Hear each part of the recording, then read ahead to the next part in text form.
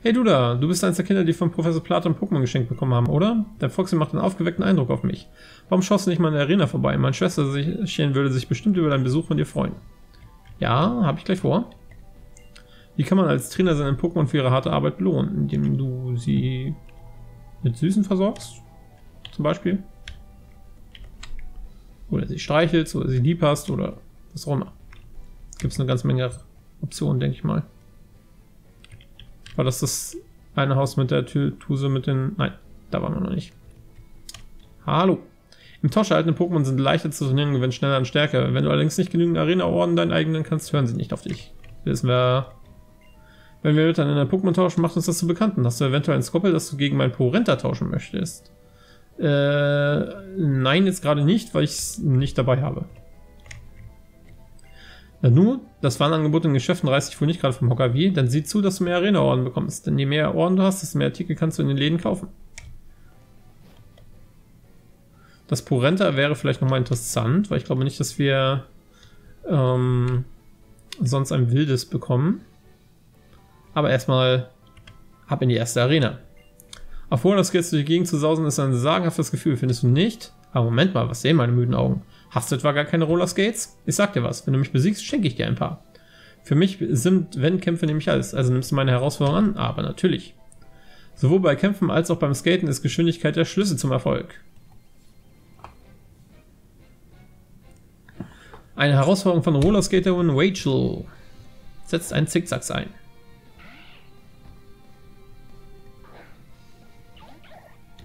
Das sollte jetzt nicht gerade die Riesenherausforderung sein. Zwei, maximal drei Blubber-Attacken und die Sache ist gegessen. Ich bleibe mal bei zwei. Aber Level 7, das dürfte schon, und von einem Trainer, das dürfte einiges an Erfahrungspunkten geben. Das ist doch schon mal sehr schön. Gucken wir mal. Wie viele?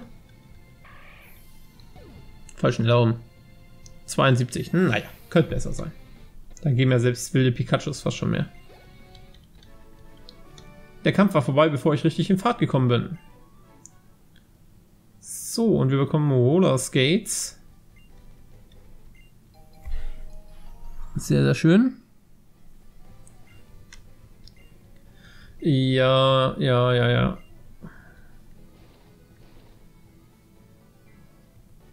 Die würde ich jetzt gerne einmal... Achso, ich habe sie schon direkt an.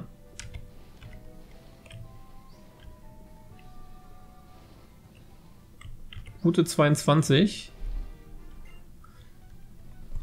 Dann würde ich sagen, gucken wir uns noch mal ein bisschen auf der Route um und äh, schauen, dass wir Foxy noch entwickeln, bevor wir in den nächsten Arena, also bevor wir in den Arena-Fight reingehen. Umso leichter wird es nämlich für uns.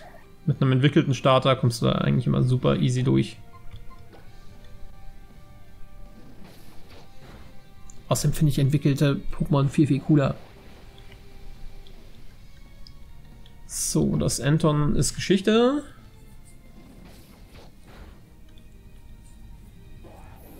Gibt das denn wenigstens mal ein bisschen Erfahrung? Ja, 81. Schon mal besser. Leufeo. Hier haben wir eins aus der neuen Generation, auch ein äh, mit Feuertyp, glaube ich. Ich weiß noch nicht, ob schon in der Stufe oder erst entwickelt. Ich glaube, normal Feuer ist das später. Es hat auf jeden Fall jetzt schon den Feuertyp. 111. Wo gefällt mir das? Wow, du bist vielleicht sogar stärker als Viola. Das höre ich gerade irgendwie nicht zum ersten Mal. Go, Goldini, go! Ich, ich, frage mich, was sie wohl einsetzen wird. Ein Goldini! Das ist ja unglaublich. Der Witz wird alt, ne? Ja, ich weiß. Ich habe aber momentan noch keinen besseren. Eine Schnabellattacke. Die beeindruckt jetzt auch nicht gerade. Also irgendwie haben die Trainer hier noch nicht, nicht, nicht viel drauf, habe ich das Gefühl.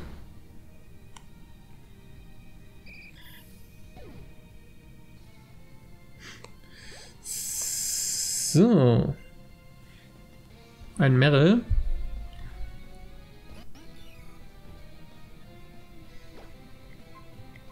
Kriegen wir mit Ruckzuckieb, glaube ich, ganz gut gebacken weiterhin. Ich brauche auf jeden Fall noch äh, entweder einen Elektro- oder einen Pflanzentypen. Sonst dauern mir die Kämpfe gegen Wasser momentan zu lange. Natürlich kriege ich später Unlichtattacken auf Froxy dazu, sobald es den 2-Typ bekommt. Aber es dauert halt noch ein bisschen. Das finde ich übrigens, haben sie hier cool gemacht, dass du Unlicht, Kampf und Psycho als Nebentypen hast, soweit ich weiß. Ähm, das dreht halt dieses Dreieck dann nochmal weiter. Leider haben sie es nicht äh, richtig gemacht, finde ich. Also richtig gemacht hätten sie es meiner Meinung nach, ähm, wenn wir ähm, Unlicht jetzt ruhig auf Wasser gehabt hätten, Kampf auf Feuer und Psycho auf äh, Pflanze, dann hättest du so ein umgedrehtes Dreieck gehabt. Das glaube ich wäre ganz cool gewesen. Weil du dann äh, einfach nicht nur bei den, dann wäre nicht jeder Starter gleich äh, stark gegen einen bestimmten, sondern du hättest halt ähm, auch etwas gegen den Starter tun können, der schwächer ist als dein eigener. Äh, stärker, so rum. Äh, Aquavelle wäre zu stark. Wir nehmen einen Belubber, weil Bidiza haben wir ja noch nicht. Das heißt, das erste Bidiza fangen wir. Oder fangen wir es auch vielleicht nicht. Beim nächsten Mal nehmen wir Ruckzucki.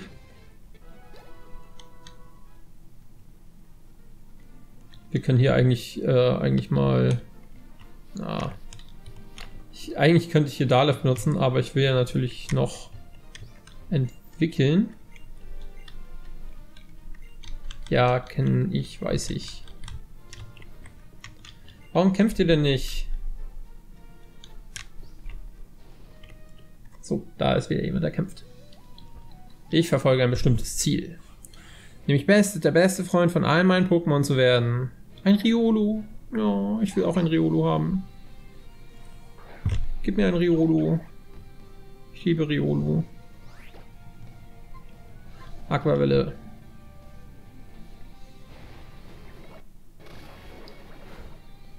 Reicht nicht ganz. Ich guck gleich mal, ob wir ein wildes Riolo fangen können.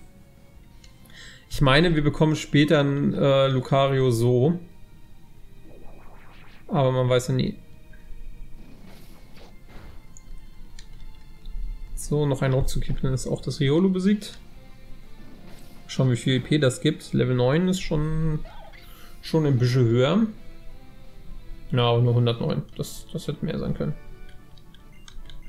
Aber gibt ordentlich Geld.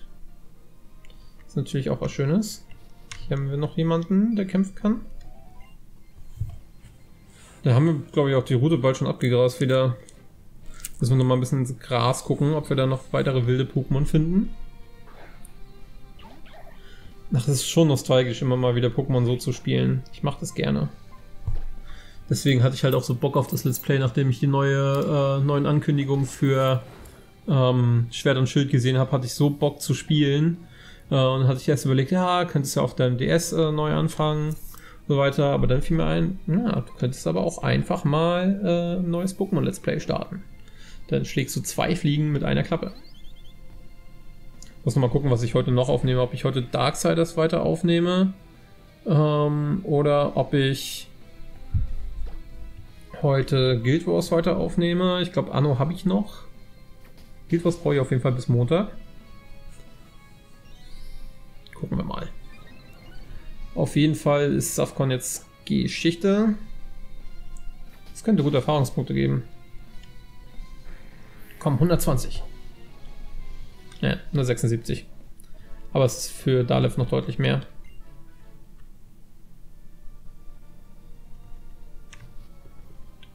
Da sind noch so viele. Es sind hier echt viele Trainer, muss man schon sagen. Finde ich gut. Trainer geben halt immer eine ganze Menge mehr Erfahrungspunkte, als es sonst so der Fall ist.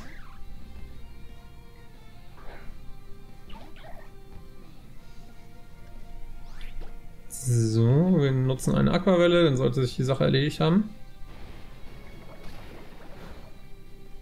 Perfekt.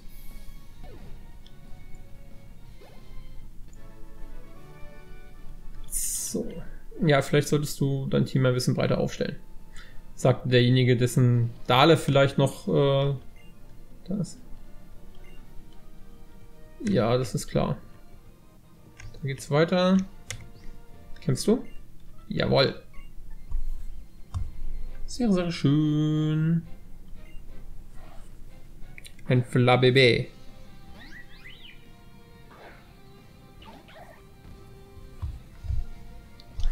Flabébé ist äh, tatsächlich ein ähm, Pflanzenfee-Pokémon. Fee ist ja die neue, ähm, der neue Typus, der mit dazugekommen ist hier. Und den ich sehr, sehr toll finde.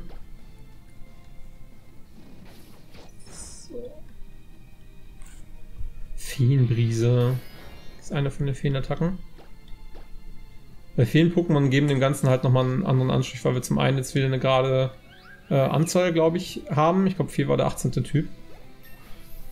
Nachdem Unlicht und Stahl ja sonst die letzten Typen waren, die eingeführt wurden vor Ewigkeiten.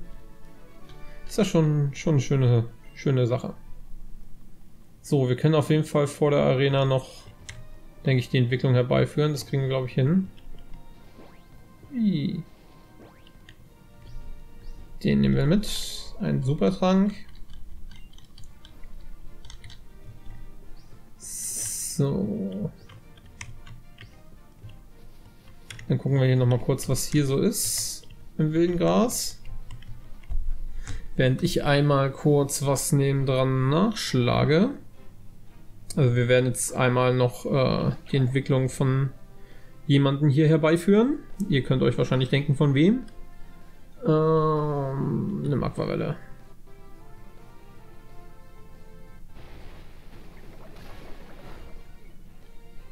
Und zwar will ich wissen, wann sich äh, noch jemand Gewisses entwickelt.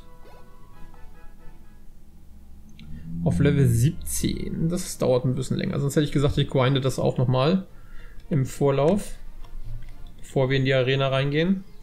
Aber es ist halt, dauert halt auch nicht lange, ne? Also 17, wir sind glaube ich auf 10, fast 11. Datiri. Ähm, wisst ihr was? Wir machen, wir gehen jetzt mal in die Arena rein. Sonst dauert mir das hier zu lange. Ich will richtige Trainer besiegen und hier scheinen ja keine wilden Pokémon rumzulaufen. Ich wollte noch nach Riolo gucken, fällt mir da gerade ein. Pokédex. So, Carlos. Gucken wir mal, wo haben wir Riolo? Da haben wir Riolo. Gibt es hier auf der Route tatsächlich. Dann muss ich jetzt einmal ein Riolo fangen.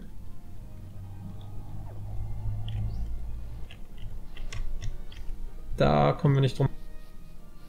Oder wir machen das nach dem Arena-Kampf. Wenn ich dann ein bisschen grinde, um äh, Dalev nachzuziehen, könnte ich ja noch direkt einen Riolo fangen. Und dann in dem Moment wieder kurz zuschalten. Hm. Fragen über Fragen. Also ich will auf jeden Fall hier jetzt nicht grinden. Das, das dauert nicht zu lange. Es gibt auf jeden Fall... Warte mal, war das überhaupt die Route, auf der ich mich gerade befinde? Ich glaube ja, ne? Ich gucke vorsichtshalber nochmal nicht, dass ich jetzt hier unnötig...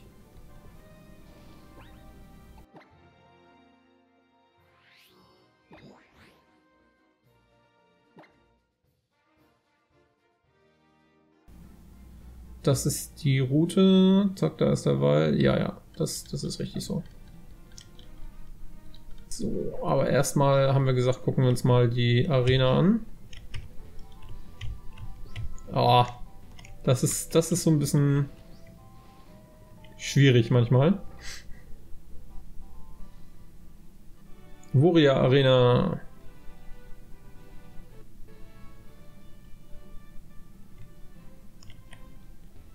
Sei gegrüßt, zukünftiger Champ. Wie geht's? Wie steht's? Ah, das wird dein erster Arena-Kampf. Was? Bist du aufgeregt? Köpft dein Herz von Nervosität? Ach, mach dir keine Sorgen. Alles wird gut. Du hast doch dein Pokémon-Team dabei. Schließlich ist es ja dein Team, das kämpft und nicht du. Stimmt's oder habe ich recht? Wenn du die Schlange runterrutscht, gelangst du zur Arena-Leitung und einigen anderen Trainern. Aber vorher habe ich noch einen Tipp für dich. Diese Arena kämpfen alle ausschließlich mit Käfer-Pokémon. Ja. Das ist so ist eine Weile her, dass ich hier gewesen bin. Es sind, glaube ich, drei oder vier Trainer insgesamt. Genau, man konnte nur auf den... Ja, man kann, kann, konnte sich hier nicht überall so komplett frei bewegen. Da. Also, Aufgabenzettel Froxy entwickeln lassen. Das heißt, äh, wir kämpfen hier so lange mit Froxy, bis es sich entwickelt und dann äh, auf Dalef wechseln, um dem noch ein bisschen Erfahrung zu gönnen. So. Äh, super Schall. Muss es sein. Gucken wir mal, ob wir Glück haben. Nein. So viel dazu.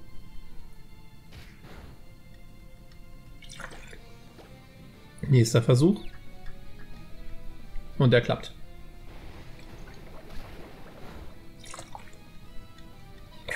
Das gibt einiges an Erfahrungspunkten.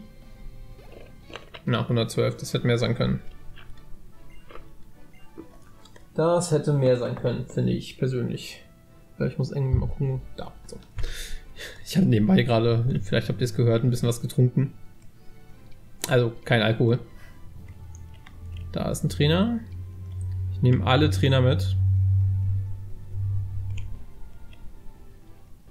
So, Käfer-Pokémon entwickeln sich außergewöhnlich schnell weiter. Dafür aber halt in vielen, vielen Fällen nicht sonderlich stark. Puponko. Von Purmel die Weiterentwicklung.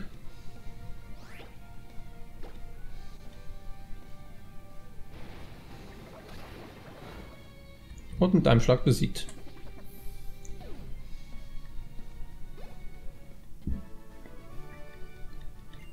Die faseln so viel Schwachsinn, dass es immer wieder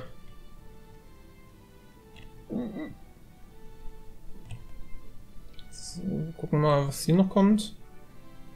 Kann ja sein, dass wir hier... Ne, wir kommen ja einfach nur zurück wahrscheinlich.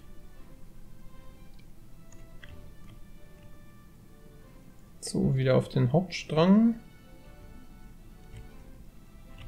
Ich glaube, wir haben jetzt nur noch die eine Trainerin und die Arenaleiterin.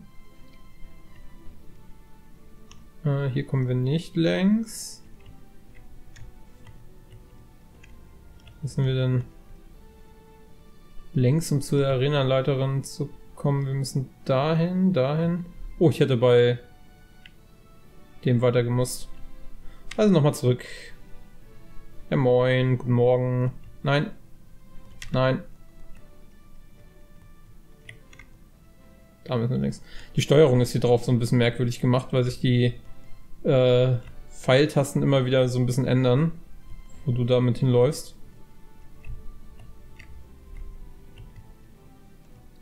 Nein. Ja. Mahlzeit.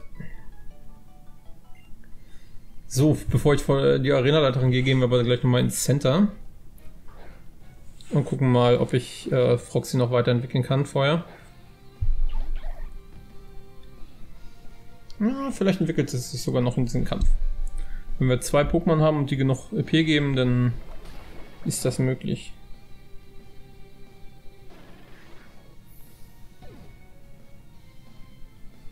Hundert. Ah, ja, das sieht doch gut aus.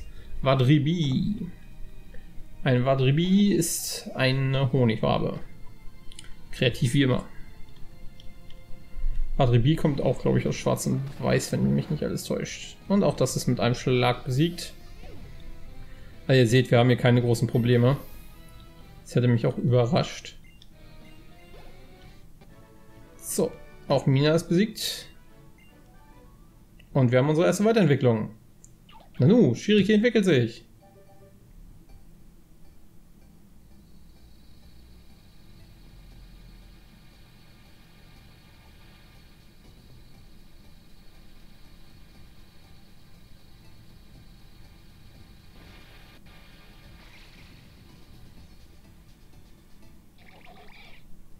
Glückwunsch, dein Shiriki wurde zu einem Amphizel. Sehr, sehr schön. Damit haben wir das erste weiterentwickelte Pokémon auch in der Tasche. Das sollte den Kampf gleich äh, sehr, sehr einfach gestalten. Äh, was ich schon mal mache, ist, dass ich gleich mit Dadev beginne, weil das jetzt äh, mal ein bisschen aufholen muss. So, jetzt ist die Frage. So, so, so. So. Das ist echt merkwürdig hier mit der Steuerung.